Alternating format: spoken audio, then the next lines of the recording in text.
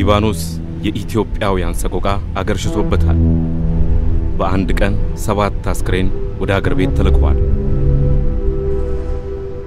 በአዲስ አበባ አውሮፕላን ማረፊያ በመቶዎች የሚቆጠሩ ሰዎች ቆመው የኢትዮጵያ አየር መንገድ አውሮፕላን በሰላም የማረፉን ዜና ለመስማት ይጠባበቃሉ።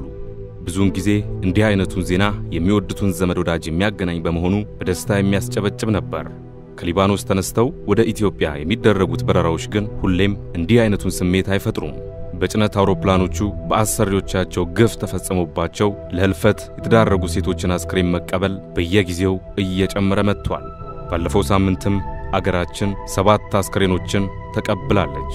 አውሮፕላኑ አዲስ አበባ መግባቱ ሲረጋገጥ እናቶችና ቤተሰቦች እንዲሁም ጓደኞች አልቅሰዋል፣ አንብተዋል።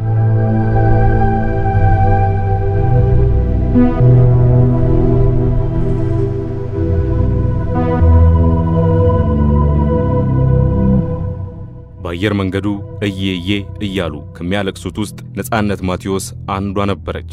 ለአዲስ ስታንዳርድ ስትናገር ከዚያ ቀን በፊት አይቻቸው ከማላቃቸው ሰዎች ጋር አብሬ አልቅሻለሁ፣ ምክንያቱም የሁላችንም ጉዳትና ሐዘን ተመሳሳይ ነው ብላለች። የነፃነት ዘመድ የሆነችው ሊዲያ በቀለ ለዓመታት በሊባኖስ በቤት ሠራተኝነት ስትሠራ ቆይታለች። ባለፈው መስከረም ወር ወደ ተወለደችበት አርባ ምንጭ ሄዳ ቤተሰቦቿን ጎብኝታ ነበር። ይህች የ28 ዓመቷ ወጣት ወደ ሊባኖስ ከተመለሰች ከሁለት ወራት በኋላ ግን በጭነት አውሮፕላኑ ከመጡት ሰባት አስክሬኖች አንዱ የእሷ ሊሆን ችሏል። ሊዲያ ያለፉትን ሁለት ወራት የቆየችው ሁለት ልጆች ባላቸው ባለትዳሮች ቤት ውስጥ ነበር። ነፃነት እንደምትለው ከዚህ ቀደም ቀጣሪዎቿን እንደምትፈራቸው ሊዲያ ነግራታለች። ለምን እንደሆነ ባትገልጽላትም በተለይ ባልየውን የምትፈራው እንደሆነ እንደነገረቻት አውስታለች። ስለ ሊዲያ አሟሟት ለማወቅ ወደ ቀጣሪዎቹ ስትደውል መልስ ሊሰጧት እንዳልቻሉም አስረድታለች። ስትናገርም ቀጣሪዎቹ በዋትሳፕ ብሎክ አድርገውኛል። በመስመር ስልክ ብዙ ጊዜ በደውልላቸውም ማንኛውም ከኢትዮጵያ የሚደወልን ስልክ አያነሱም። እስካሁን እንዴትና ለምን እንደሞተች የምናውቀው ነገር የለም ብላለች። ወይንሸት ንጉሴ ግን ባለፈው አንድ ዓመት ተኩል ስትሰራ የነበረው ጤናዋ ተቃውሶ መሆኑን ቤተሰቦቿ ተናግረዋል። በበሽታ ላይ ሆና እንዴት ስትሰራ እንደነበርና ሕክምና ስለማግኘቷ ቤተሰቦቿ የሚያውቁት ነገር የለም። የሚያውቁት ነገር ቢኖር ወደ ሀገሯ ለመመለስ አስፈላጊው ዶክመንት እንዲዘጋጅላት ቤይሩት ለሚገኘው የኢትዮጵያ ቆንሲላ ጥያቄ ማቅረቧን ነው።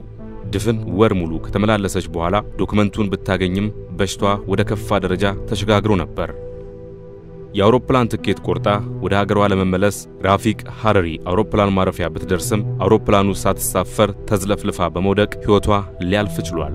ሕይወቷ ያለፈው ደግሞ ባለፈው ኦክቶበር 31 ወይንም ከወር በፊት ነበር።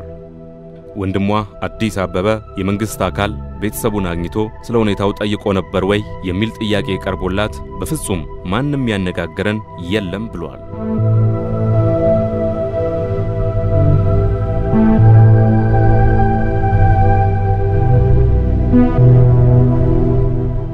በቤይሩት የኢትዮጵያ ቆንስላ ተጠባባቂ አምባሳደር የሆኑት አቶ አክሊሉ ታተር ውቤ ስለ ጉዳዩ ከአዲስ ስታንዳርድ ጥያቄ ቀርቦላቸው ምላሽ ሲሰጡ ግን ሰባት ሴቶች ሞተዋል የተባለውን የተጋነነ ቁጥር ነው ብለውታል።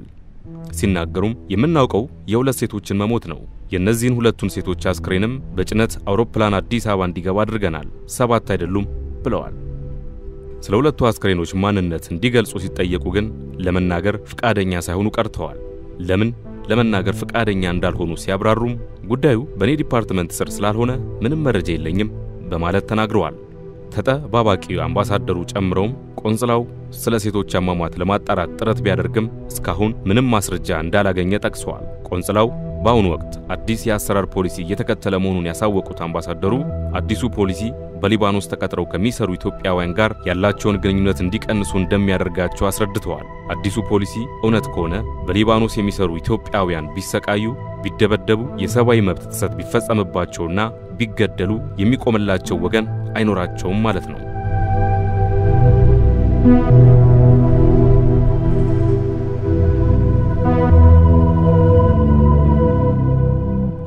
የተጠባባቂ አምባሳደሩ ንግግር ግን በሊባኖስ የሚገኙ ኢትዮጵያውያን አክቲቪስቶችንና የኮሚኒቲ መሪዎችን አስቆጥቷል። እኛ ለእኛ የተሰኘውና በሊባኖስ የኢትዮጵያውያን ስደተኞች መብት ተሟጋች ድርጅት መስራች ባንቺ ይመር ስትናገር ይህ በገዛ ዜጎች ላይ የሞት ፍርድ የመፍረድ ያህል ነው ብላለች። ወደ ድርጅቱ በየቀኑ ከአምስት እስከ ሰባት ከባድ ጥቃት የተፈጸመባቸው ሴቶች ሪፖርት በሚያደርጉበት በዚህ ወቅት እንዲህ አይነት ውሳኔ መተላለፉንም ተቃውማለች። አዲስ ስታንዳርድ ስለ ጉዳዩ የውጭ ጉዳይ ሚኒስትር ቃል አቀባይ የሆኑትን አቶ ነቢያት ጌታቸውን ጠይቆ ነበር። አቶ ነቢያት ሲናገሩም በሊባኖስ ከሚኖሩ ኢትዮጵያውያን ጋር ቆንጽላው ያለውን ግንኙነት እንዲያቆም የውጭ ጉዳይ ያስተላለፈው ምንም አይነት መመሪያ የለም ብለዋል። በውጭ አገራት የሚኖሩ ኢትዮጵያውያን ጉዳይ የውጭ ጉዳይን እንደሚያሳስበውና ማናቸውም የጥቃት አቤቱታዎች ቢኖሩ ቆንጽላው ተቀብለው አስፈላጊውን ድጋፍ የማድረግ ግዴታ እንዳለበትም አስታውቀዋል።